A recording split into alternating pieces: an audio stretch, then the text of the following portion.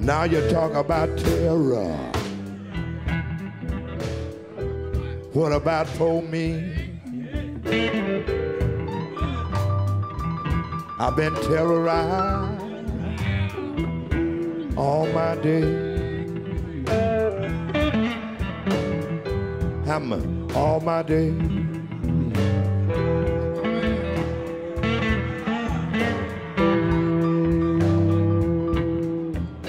Welcome to the Chris Hedges Report. Today we discuss the legacy of George Armstrong Custer and the vast disparity of the so called Indian Wars with the author Nathaniel Philbrick. The playwright Eugene O'Neill said that one of the few events worth celebrating in American history took place on June 25, 1876, when Lakota, Northern Cheyenne, and Arapaho, led by Crazy Horse and Chief Gall, annihilated a unit of the 7th Cavalry under the command of Lieutenant Colonel George Armstrong Custer. There are few battles in American history that have generated as much controversy or been as meticulously dissected and examined, and with good reason. The death of Custer and his command stunned the nation. It turned Custer, although he was criticized after the battle by his superiors for impulsiveness and lack of judgment, especially for splitting his force of some 600 soldiers into three battalions, into a martyr for the cause of Western expansion and imperialism. His death, portrayed as the ultimate sacrifice for the nation that was at the time celebrating its centennial, was used to justify a massive military campaign against Native Americans that would culminate in the massacre of some 300 Native Americans in 1890 at Wounded Knee. Many mowed down with Hotchkiss guns fired by the 7th Cavalry. The remnants of native tribes were, after the battle, forcibly relocated to prisoner of war camps known later as reservations. There is a vast disparity between the mythic presentation of Custer and the reality of the so called Indian Wars. Native Americans, including women, the elderly, and children, were slaughtered. The U.S. government repeatedly violated formal treaties to seize land promised in perpetuity to Native Americans. The buffalo herds, which sustained nomadic tribes, were decimated by white hunters. Joining me to discuss this seminal moment in American history is Nathaniel Philbrick, author of The Last Stand Sitting Bull Custer and the Battle of the Little Bighorn. So, I, have told you before we went on that I, I love this book. Uh, I think it ranks with Dee Brown's Bury My Heart at Wounded Knee, uh, Evan Connell's great work, uh, Son of the Morning Star. I want to talk a little bit about Custer because he wasn't just a general, he was a celebrity. Uh, he had become a celebrity during the Civil War, one of the youngest generals, uh, appointed uh, generals of the volunteer forces when he was 23. He wrote his memoirs, courted the press. Uh, but just before we go into what happened, tell us who Custer was. Yeah, who, well, who was Custer? Well, I think there's a, uh, a scene from his childhood that really speaks to what he would become. He was four years old. He had to get a tooth extracted. And uh, his father took him to the dentist. It was late at night. And uh, Custer at that point was terrified of blood. And his father said, You know, be a good soldier we'll get through this. And Custer gets the tooth extracted, doesn't whimper at all. And he turns to his dad and he says, Pa, you and me can whip all the Democrats in Ohio. Uh, they were in New Rumley, Ohio. Uh, he grew up in a very highly politicized family. It was, you know, Democrats versus Whigs, and uh, a clannish family. Practical jokes were really big, uh, and and you know, it was it was us against the world. Uh, he was last in his class, as you said, at West Point, but it was not because he was stupid. It was because he uh, wanted to play the game of being a, a bad boy and yet not flunk out uh, because many people did flunk out. He knew he was playing that that hairy edge, a hairy edge he would play for the rest of his life. He would graduate, and that's the important word graduate, last in his class, um, full of notoriety, beloved by uh, many of his um, classmates. And then he would stumble into the Civil War. uh, where he proved to be one of the great cavalry officers uh, in the Union Army. And we can't, it, he didn't fake it at this point. I mean, he really was good. He was outrageously brave. Uh, and uh, a g- good battlefield vision and judgment, a charismatic, a little bit of a fop, uh, once he became that uh, a, brevet general, he was free to dress as he wanted to, and so he had velvet uh, uh uniform and long blonde hair. But he was good, and uh, it would be at the the uh, Gettysburg where he would actually turn back Jeb Stuart, and then the um, the, the, Civil War ends. he and Sheridan, who Custer's right. He's a little bit like Forrest Gump. Uh, you know, when something's happening, he's there. He was there at Appomattox.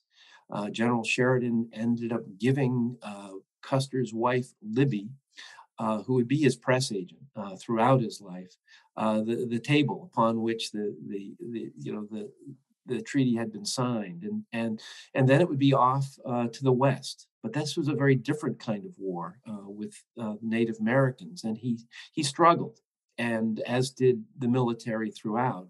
And yet he played it as well as he could politically uh, and in terms of the press and uh, kept that uh, reputation of being um, a risk taker. And so uh, ultimately, it would all catch up with him at the Battle of Little Bighorn. But Custer was Custer almost from the beginning. Well, he was mentioned as a possible presidential candidate. Uh, he was widely known. He had celebrity status. I, I want to talk about two factors: a huge influx of settlers coming into the West, which, uh, of course, uh, and they are seizing Native American land. Custer led the group into the Black Hills that discovered gold and set off a kind of gold rush, uh, and the Civil War itself. Uh, so, I mean, a lot of these figures: Sheridan, Sherman, Custer uh, most of them had come out of four years of fighting, but the fighting was different. Um, Sheridan, for instance, uh, ordered and Custer carried it out uh, at Washita and other places that Custer kill all military age males. Native American males were captured. If they were captured, they were to be killed. It was a very, very brutal conflict, very different from the Civil War, as brutal as that was. Uh, in, in many ways, this was a war about extermination. Absolutely. I mean, it was kind of like going from World War II to Vietnam, uh, where uh, the you didn't feel like you were fighting the good fight. Um, you were eliminating a, a impediment to manifest destiny and um, you know even someone without much of a conscience uh, couldn't feel very good about it unless you know you're Custer who glorifies everything. Uh, because I am here, it is you know it, he yeah he is operating from the 17th century Cavalier point of view, where um, you know my you know my presence uh, glorifies this act. Uh, Washita was uh, a you know terrible, brutal attack on a, a basically a, friendly village of Cheyenne, and um, in his portrayal, it was uh, he, was his small band against this huge group of Indians. Where, um, in actuality, it was you know, not quite as as one sided as that, and and really kind of a pointless military campaign.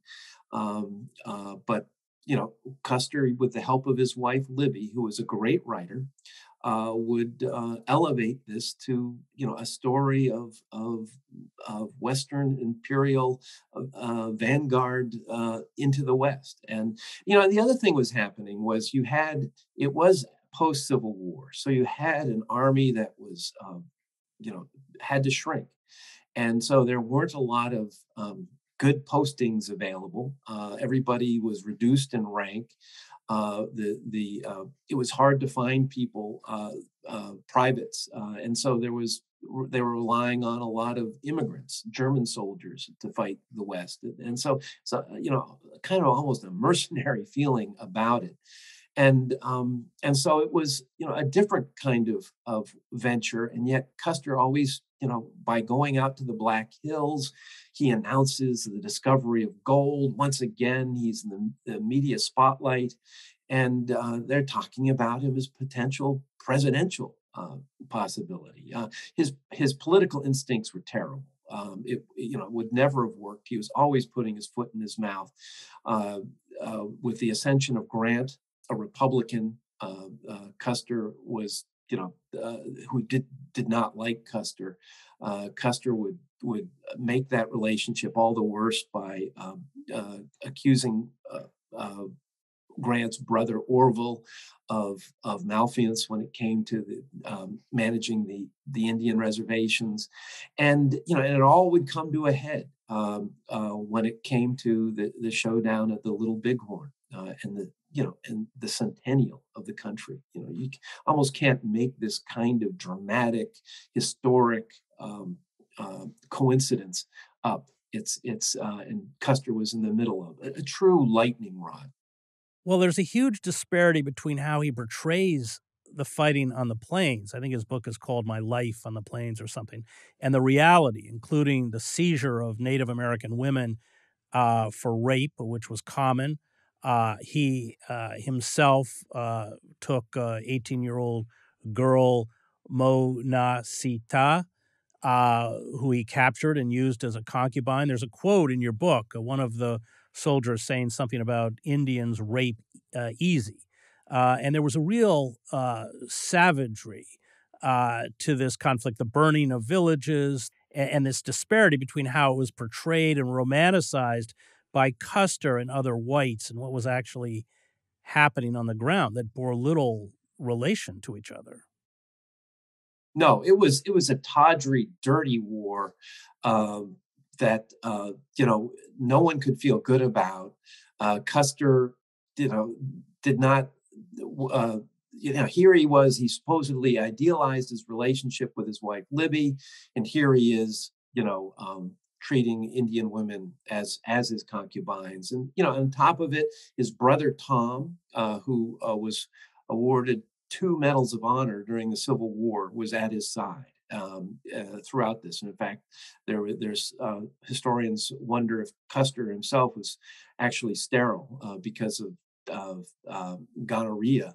Um, you know, uh, uh, earlier in his his career, and it might have been Tom's uh, you know child through Monahsetah. But you know, it's just this is just awful stuff. And um, and you know, I think it gets at the heart of what's going on with Western expansion. Um, you know, Americans did everything they could to to to portray this as a, a God ordained march across the continent in which civilization was being brought to a savage people, and so people like Custer uh, uh, were felt it incumbent upon themselves to put these these horrible acts uh, in as as golden a glow as possible. And you really could not find a better person to take that kind of role than Custer, uh, who uh, you know was great with the press.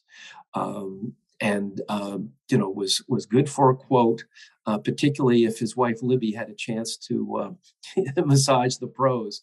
And so, uh, you know, uh, Custer is fascinating because he personifies so much of America, um, you know, that is horrifying, really.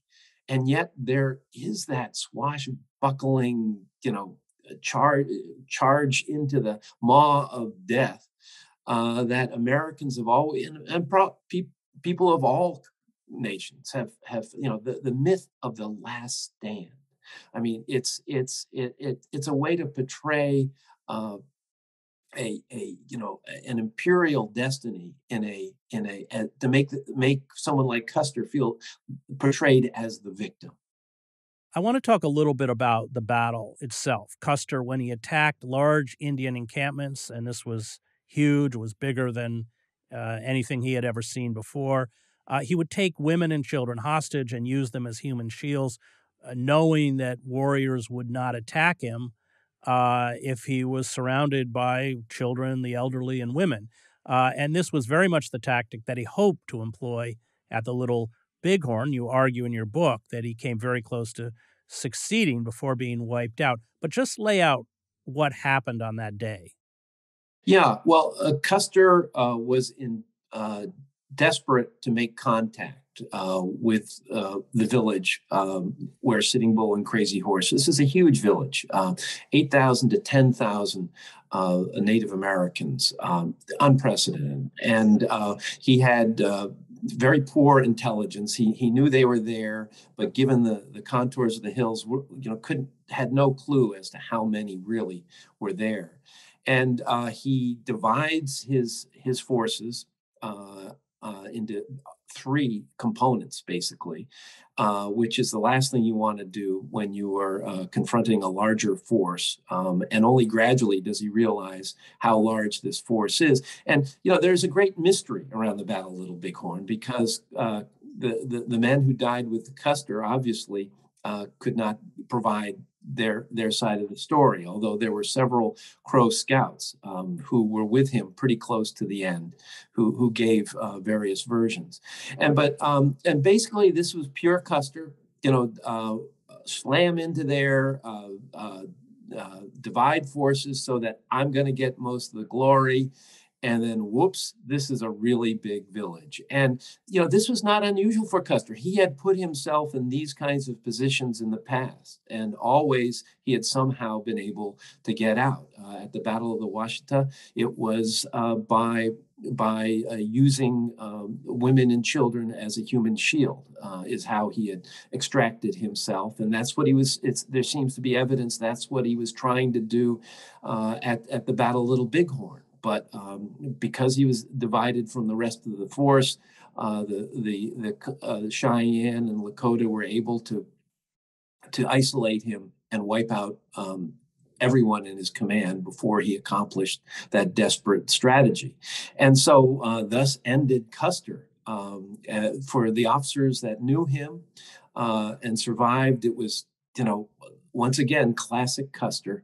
And uh, because Custer uh, surrounded him with so many family members. It would um, his two brothers would die with him in what became known as Last Stand Hill, along with a, a, a brother-in-law.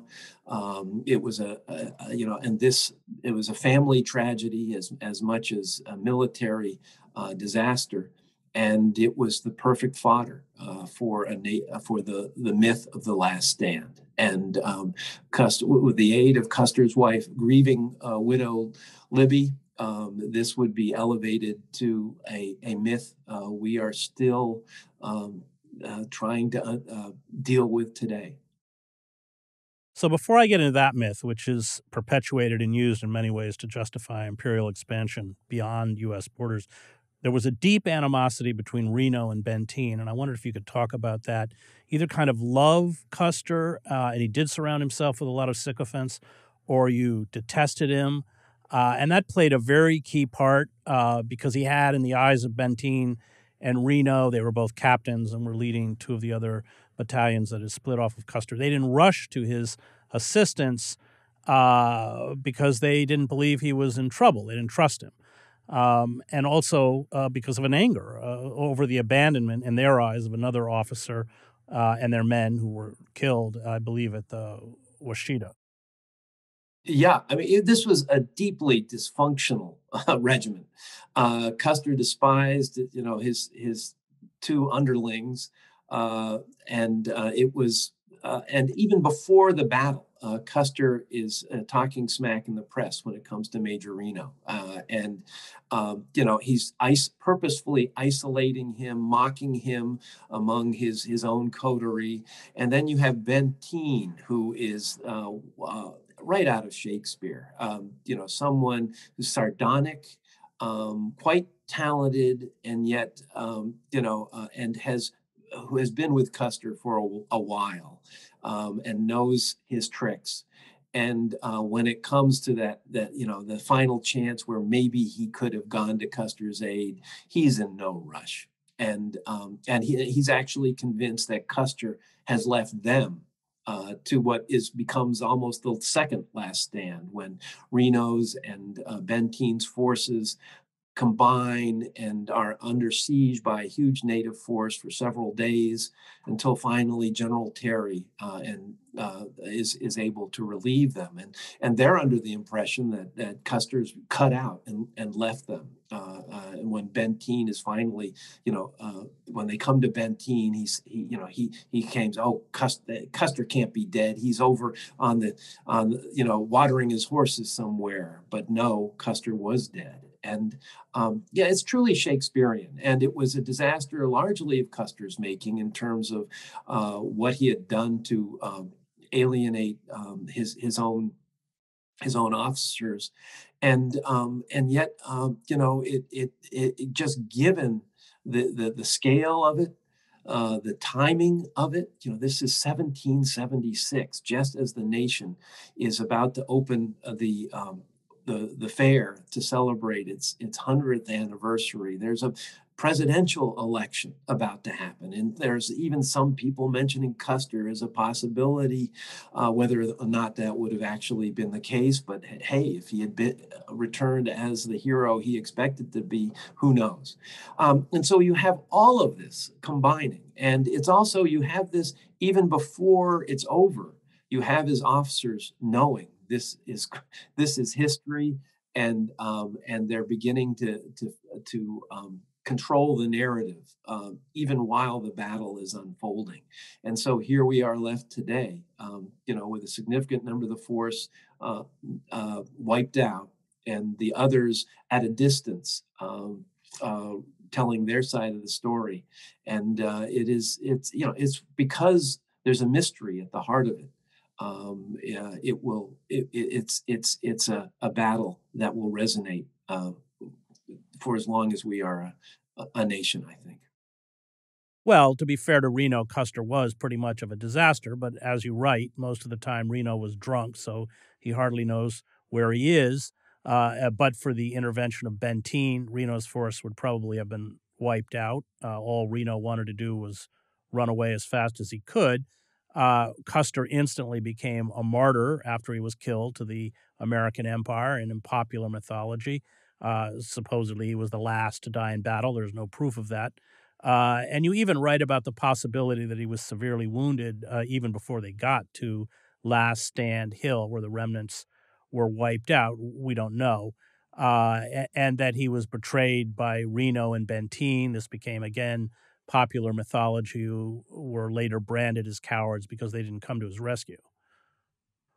Custer becomes the epitome of the American hero. He's held up as the model of the American empire as the country moves from subjugating Native Americans to subjugating other native populations overseas. Uh, the language that the military used and still uses uh, today to speak about conflicts, this was true in Vietnam, or Iraq, uh, where they refer to uh, hostile areas as Indian country. It hasn't changed. Uh, can you speak about how this moment in history has replicated itself in American culture? Yeah, well, you know, we after World War II um, and and Korea, uh, we move into this, you know, this this era, which is eerily uh, like uh, the wars, uh, the, the Tawdry Wars fought uh, as we as the country marched west, and it's you know it, it's it's the same tactic still being used where you try to infiltrate um, the, you know the other side. You you you you find um, some a soldier there and and turn them and use them to to get at the others. It's you know it's it's it's it's an amazing uh, similarity. And and you know and look what has happened in Iraq and Afghanistan. That same sense of betrayal of of uh, you know uh, complete needless uh, you know, the, the, the, in the American West, these were forces that were unfolding. They could have unfolded gradually and much more humanely.